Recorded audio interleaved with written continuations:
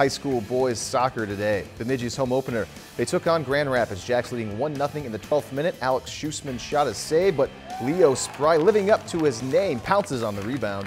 2-0 Bemidji later in the first half. Matt Damiani leaves it for Marcus Frostholm, and his strike finds the back of the net. Rapids cuts it to 2-1. Second half now, 18th minute, James Lind on the corner. Left foot puts it into play, and Jins Pearson heads it home. That's the equalizer, and that's the way it stayed the rest of the way. Jacks and Thunderhawks play to a 2-2 tie. If you've enjoyed this segment of Lakeland News, please consider making a tax-deductible contribution to Lakeland Public Television.